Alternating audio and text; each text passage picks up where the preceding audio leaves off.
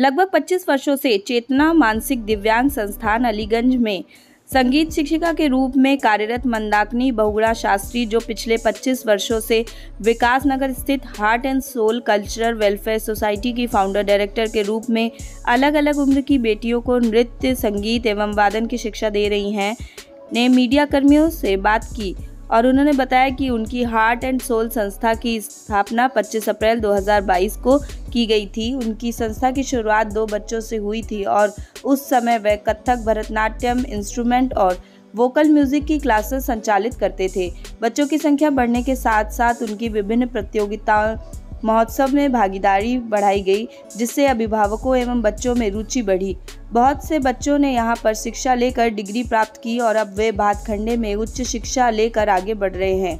इसके साथ ही उनकी संस्था के बच्चों को कई अवसरों पर सम्मानित एवं पुरस्कृत किया गया है। इसके साथ ही उन्हें भी कई बड़ी बड़ी संस्थाओं एवं मंचों पर गौरवान्वित किया गया है, जिसमें अवध सम्मान, यूपी महिला रत्न सम्मान, वैदिक, भारत रत्न आदि से नवाजा गया है। उनकी संस्था में harmonium, tabla, dholak, Kathak, Bharatanatyam, western dance, art and craft जैसी कई क्लासेस ली जाती है। डायरेक्टर मंदाकिनी के अनुसार बच्चों का मानसिक विकास होना अत्यंत आवश्यक है और इसी तरह बच्चों के टैलेंट को बाहर निकालने के लिए अनुभवी शिक्षक का होना भी अत्यंत आवश्यक है। साथ ही बच्चों ने जहाँ से अपने टैलेंट की शुरुआत की है, जहाँ से शिक्षा ली है, उस संस्थान को उन्हें और उनके माता पिता को भूलना नहीं चाहिए और उनका सदैव सम्मान करना चाहिए। मेरा नाम मंदाकिनी है और मैं heart and soul culture welfare society की फाउंडर डायरेक्टर और इसके साथ ही मैं चेतना मानसिक दिव्यांग अलीगंज में संगीत शिक्षा के रूप में कार्यरत हूँ लगभग छत्तीस वर्षों से आप अपनी ये जो संस्था चलाती हैं, यहाँ पर ये किस नाम से है?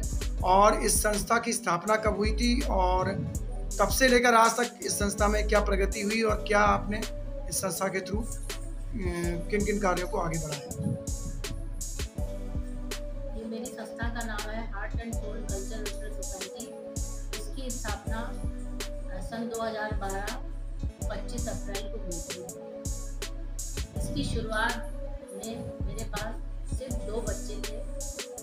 धीमे धीमे बच्चों की संख्या बढ़ती गई, जिसमें विषय थे Kathak, Bharatanatyam vocal music, instrument, art and craft.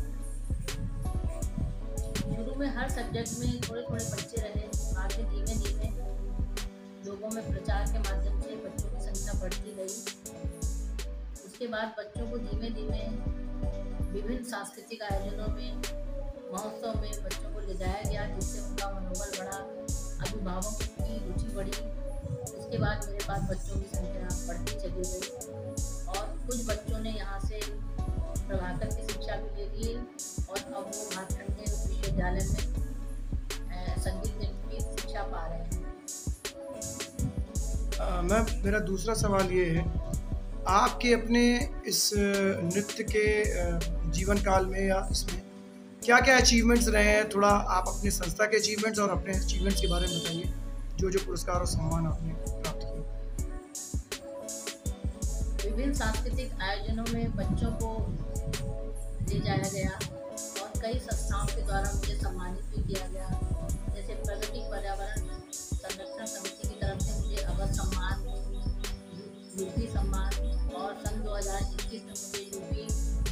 महिला रत्न सम्मान से सम्मानित किया गया।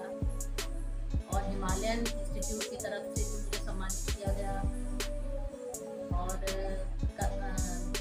रोमणी अवार्ड और करोना वॉरियर के रूप में मुझे सम्मानित किया गया, क्योंकि मैंने करोना काल में दिव्यांग बच्चों के ऑनलाइन सांस्कृतिक कार्यक्रम आयोजन किए, जिसमें देश विदेश के बच्चे मेरे साथ जुड़े। उनका मैंने संगीत नृत्य का कार्यक्रम आयोजित किया। मंथन फाउंडेशन एक है राजस्थान में। उन्होंने मुझे कोरोना काल में इंटरनेशनल लेवल का जजमेंट करने की मुझे, ये ज़िम्मेदारी सौंपी थी। वो भी मुझे सम्मानित, वहाँ से भी मुझे सम्मानित किया और भी कई जगहों से मुझे सम्मानित किया गया है। महोत्सव की तरफ़ से भी, अन्य संस्थाओं की तरफ़ से। और अभी हाल ही में मुझे एंटी करप्शन संस्था द्वारा वैदिक भारत रत्न से सम्मानित किया गया। मैम, मेरा अगला सवाल ये है कि आपकी ये जो संस्थान यहाँ खुला हुआ है आपने, इसमें किन किन चीज़ों का बच्चों को सिखाया जाता है? कौन कौन से ऐसे सांस्कृतिक और वो सब चीज़ों की तैयारी किया थोड़ा सा हमें बताइएगा, वाद्य में और नृत्य में क्या क्या चीज़ इसमें बच्चों को शास्त्रीय संगीत की शिक्षा दी जाती है, जिसमें नृत्य, गायन और वाद्य की। नृत्य में कथक और भरतनाट्यम और इंस्ट्रूमेंट वाद्य में हमारा हारमोनियम तबला, ढोलक और कीबोर्ड कैसियो की शिक्षा दी जाती है। और साथ ही वेस्टर्न डांस की भी बच्चों को जुम्बा एरोबिक्स लेडीज़ बैच ढोलक, सभी तरह की आर्ट एंड क्राफ्ट काफ़ी विषयों की शिक्षा दी जाती है। और बच्चे विभिन्न कार्यक्रम में भाग लेते हैं। यहाँ संस्था के अंदर ही हम विभिन्न प्रोग्राम आयोजित करते हैं, जिसमें हम सेलिब्रिटीज़ को भी बुलाते हैं। और बच्चों को उनके द्वारा सम्मानित कराते हैं, उनको बच्चों को सम्मान उनके द्वारा बच्चों को सम्मानित किया जाता है। और इसके साथ ही मैं पिछले साल से मानसिक दिव्यांग बच्चों का समर कैंप चला रही हूँ, जिसमें अभी मैंने हाल ही में इसी साल, इसी जून में ही मैंने इसका समापन किया था। तो उसमें मैंने यूपी महोत्सव के प्रगति पर्यावरण प्रगति पर्यावरण संस्था के जो अध्यक्ष हैं श्री विनोद कुमार सिंह जी, उनको मैंने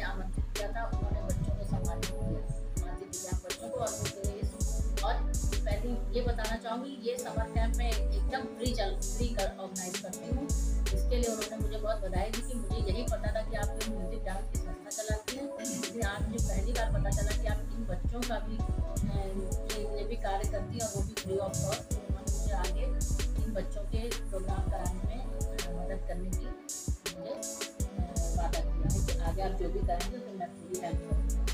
तो इसके विनोद जी का मुझे एक शिक्षक के नाते मैं जानना चाहूँगा कि कितना ज़रूरी है आज के बच्चों का ये शारीरिक और मानसिक विकास के लिए नृत्य का गायन का या किसी भी ऐसी कला का आ, कितना महत्वपूर्ण है ये?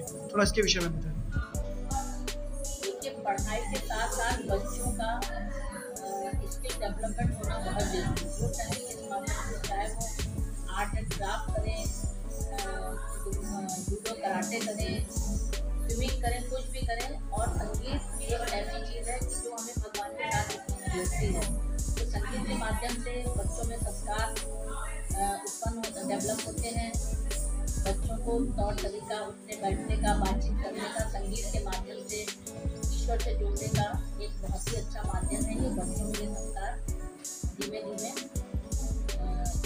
उत्पन्न हो जाता है और वो उससे ईश्वर से उसको जुड़ जाता है।